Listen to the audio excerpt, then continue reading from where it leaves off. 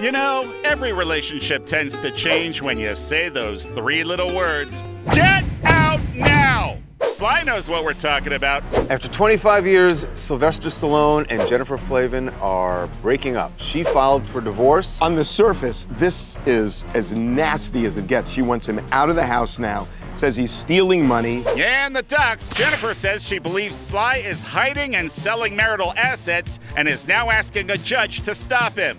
Don't know if there's a prenup, but we do know this. The nastiest part of this involves a dog. This dog. Sources tell us this all started because Sly wanted this Rottweiler named Dwight. Jennifer didn't. Big argument that escalated into a divorce filing.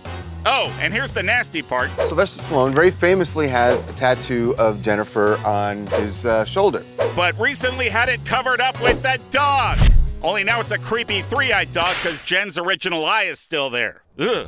This tattoo means they're at war. There are ways to cover it that aren't a dog face. She posted a photo with their three daughters and said, These girls are my priority. Nothing else matters. The four of us forever. Bam! As for Sly, His rep just gave us a statement from him that they are resolving this now amicably and privately. Does that mean he's redoing the tattoo?